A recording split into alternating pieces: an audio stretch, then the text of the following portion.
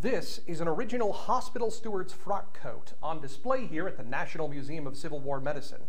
It has the distinct armband insignia, green with uh, gold piping, and a caduceus in the center.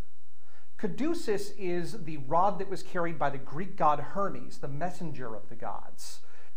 It seems to have been confused by American medical professionals with the rod of Asclepius, a single rod with a single snake entwined. Snakes in ancient Greece were seen as symbols of healing, in part because they shed their skin, they would renew themselves. And the healing temples of Asclepius would always keep snakes on hand.